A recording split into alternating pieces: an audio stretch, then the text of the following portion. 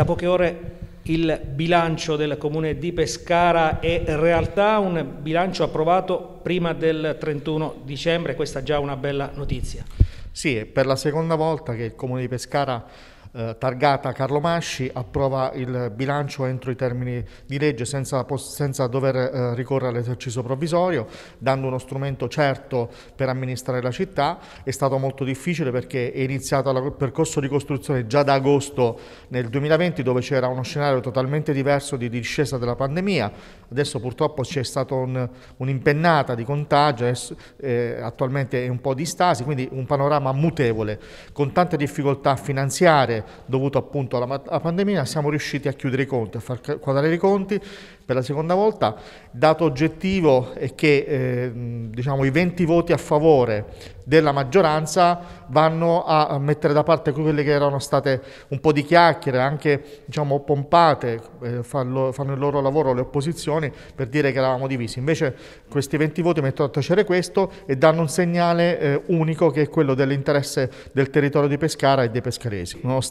diciamo, i diversi giorni che il Consiglio Comunale si è dibattuto sul DUP e poi eh, sul bilancio, si è raggiunta un'intesa per migliorare quella che è la proposta di bilancio, perché ricordiamo la Giunta propone un bilancio e poi è prerogativa del Consiglio eh, dell'approvazione della, eh, attraverso l'espressione del voto che è stato ovviamente contrario dell'opposizione ma abbiamo accolto alcune loro eh, istanze per poter eh, creare quello che è un clima distentivo e di massima eh, condivisione possibile visti i tempi eh, con tutti i consiglieri che rappresentano ovviamente il territorio comunale. sicuramente abbiamo fatto un bilancio in condizioni che tendono alla normalità, eh, però eh, ci sa, con, con, la variazione di bilancio che eventualmente fosse necessaria abbiamo lo strumento per intervenire immediatamente. I punti essenziali sono quelli del decoro, eh, il verde con 1.300.000 euro ovviamente teniamo che sia una città ordinata, abbiamo stanziato 50.000 euro per la bandiera blu perché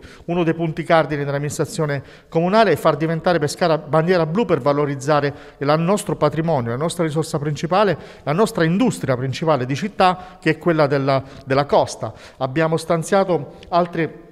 Altre, eh, diciamo, altri stanziamenti di bilancio quali Festival d'Annunziano eh, come eh, lo scorso anno perché riteniamo che attraverso anche la cultura, seppur ovviamente eh, diciamo, mediamente ridotto lo stanziamento, rappresentano un brand eh, pescarese che deve essere assolutamente valorizzato. Ci aspettiamo dal governo durante questo primo semestre dell'anno che arrivino nuove risorse finanziarie che libero, liberino quindi risorse proprie del comune da destinare a quelle che oggi sono state le, eh, gli stanziamenti ridotti rispetto a quelle che erano le aspettative, ma sicuramente siamo positivi per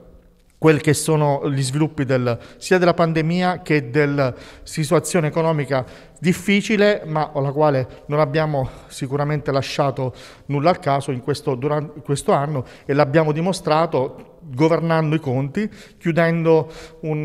uh, bilancio in, uh, nei tempi utili.